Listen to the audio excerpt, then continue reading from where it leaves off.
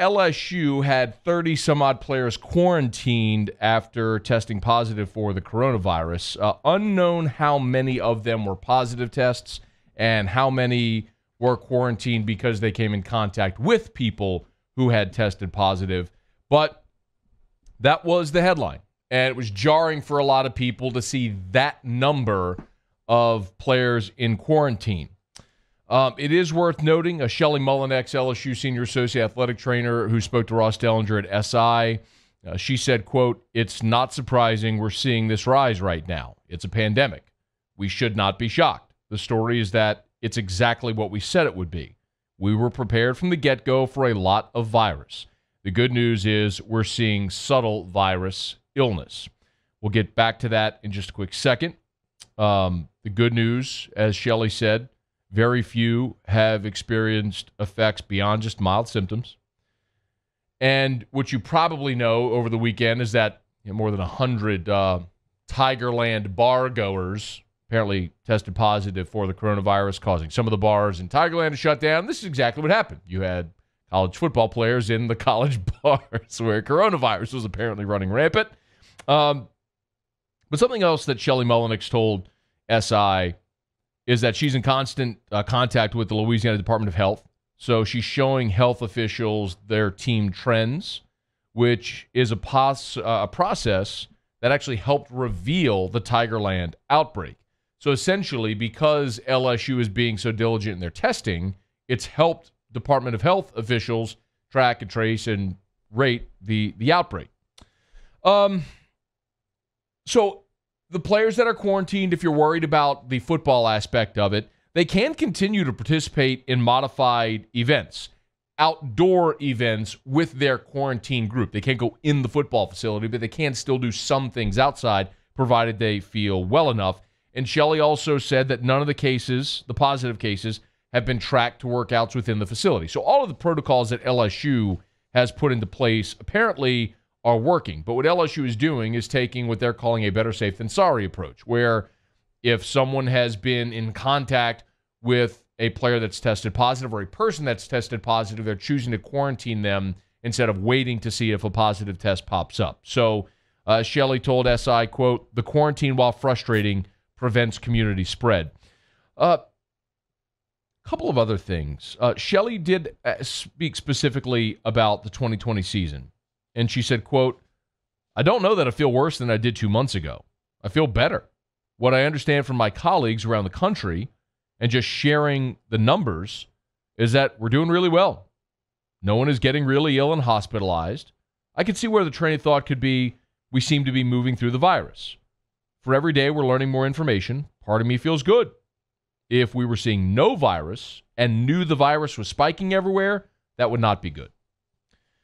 Again, Shelly Mullenix talking to SI with uh, Ross Dellenger, the first report the news over the weekend that some 30, um, uh, 30 LSU players in quarantine um, after coming in contact with COVID 19 or testing positive. So I've, like, ever since the, the initial shutdown back in March, um, I haven't talked a bunch about COVID 19 we talked a lot about if they're going to play a season, how COVID was impacting things, but not specifically about you know, the virus and things therein.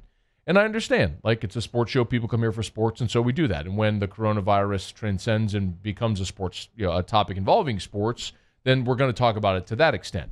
Uh, but I think this is an important time to speak my piece on a couple of things. And and I do understand that what I'm about to say largely is preaching to the choir Uh, about a month ago on this show, we did what I called a town hall. And the general theme of that show, if you recall, was I just left it open to you.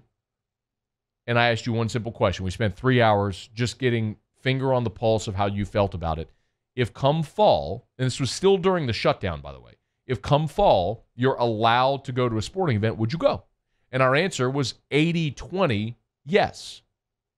And that was even some people who are elderly, some people who have pre existing conditions. We had one guy call, said he's a two time transplant recipient, organ transplant recipient, and he said, I'd still go anyway. It, it, was striking to a degree, but but also validating my feeling, which is that whether you're into sports or if you're into film festivals or you're into concerts or whatever it is that you like to do socially, when given the the all clear to go do it, we're going to do it because we're social beings.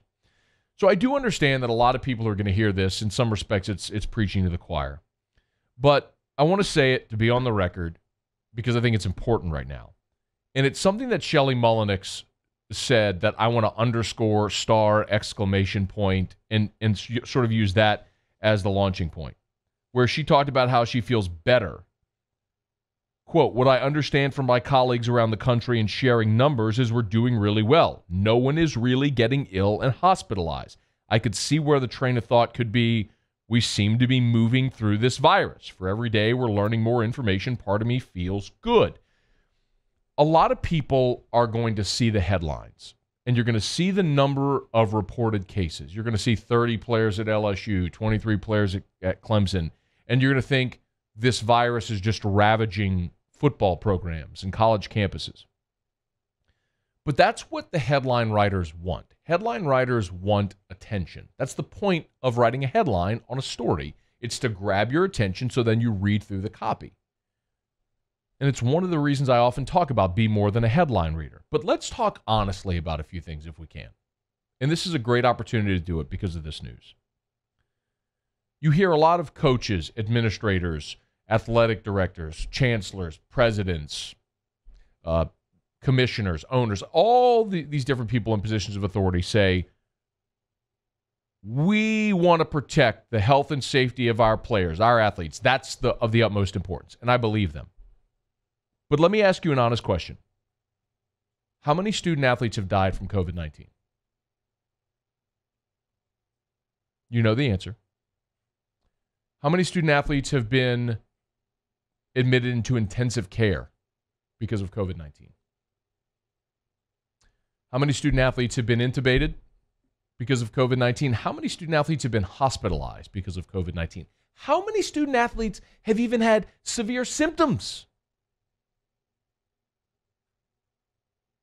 I haven't heard of one. Most of what I hear and what's reported is mild symptoms or asymptomatic. Because what we've learned about this virus is that people with healthy lung tissue largely are not affected by this virus. It's why you don't really see it affecting children. And if you're an 18, 19, 20, 21, 22 college athlete in peak physical condition, you're probably going to do just fine if you can track COVID 19.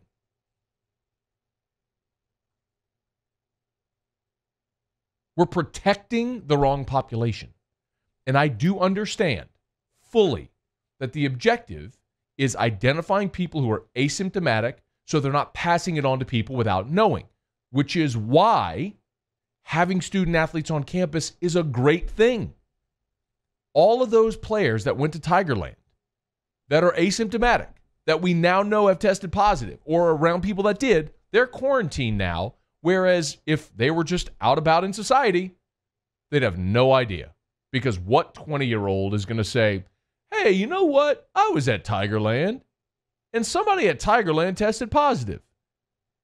I could have tested positive.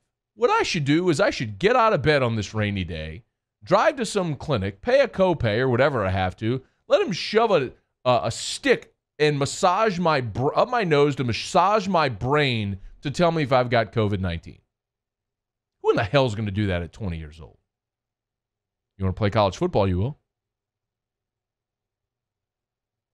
Yo, we shut down our country primarily to prevent overwhelming the medical infrastructure. Check. We've done that. We're good. Ventilators have been sent back overwhelmingly things are back on track with medical facilities. I'm not guessing, y'all. Look, come on. I mean, I, I endorse the Baton Rouge General Hospital. You don't think I talk to people at Baton Rouge General? You don't think I have an idea of how things are going there?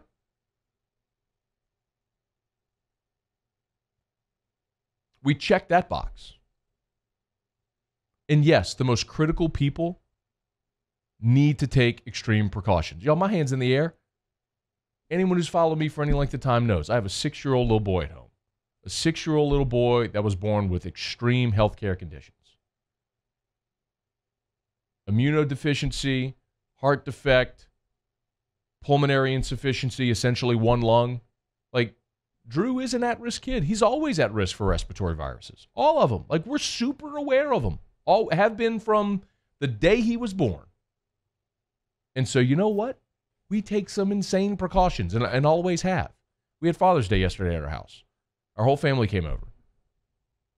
When we woke up in the morning, first thing he did is text the whole family. Anybody have fever, coughing, sneezing, any symptoms, do not come to our house today. My cousin, one of my best friends in the world, his little boy was coughing. They stayed home. That's what you do. You take the necessary precautions to protect the people who need to be protected. This is not just, I know some people are going to hear and go, man, all this just to play football season. It's not just about playing football season. It's not just, oh, I got to have my, foot, my foosball. It's not about that. It's about having society return to our norms, having society return to our way of life. And a giant part of our way of life is human interaction and also a giant part of commerce and jobs and having a functional society. And yes, athletics is part of that. So is concerts and festivals and, and restaurants and a lot of different things that contribute. The thing I would tell you is don't buy sensationalism. Listen to what Shelly Mullenix said. And she's right. It's not someone stumping for LSU's point of view just so they can play a dang football season. She's right. We're all just going to make our way and let this virus run its course until we have a vaccine. And the best way to do that is to make sure the people that need to be protected are protected and everybody else takes the necessary precautions, which largely as a society all we have. How many y'all washing your hands now more than you ever have before in your life? How many y'all are wearing who was thinking it was Musso who said it to me last week off air. It's like, man, if you'd have gone into a into a restaurant wearing a mask a month like six months ago, like they they'd have arrested you. Now, if you're not wearing a mask, you get the funny looks. Y'all, we're doing all the things we're supposed to be doing. And you're gonna expect with a virus spreading that people are gonna test positive. It's going to happen. But the other thing that happens also is you build up immunity and antibodies. And one thing we know right now is that if you contract the virus a second time, you're shedding for one or two days as opposed to two weeks. So hell, part of me goes, let's have let's have herd immunity. Get it, let it run its course. It's no longer overwhelming our medical infrastructure, and let's move through it. So look, you saw the headline, we all saw the headline. 30 LSU players quarantined, and a lot of people freak out. Kansas State shut down their their facility for two weeks. That ain't the right move. The right move is to press on. Because if we're protecting student athletes, you got to protect them from a lot more than COVID 19. Hey, thanks so much for watching. Please leave your comments. I love to interact and be sure to hit the red subscribe button below.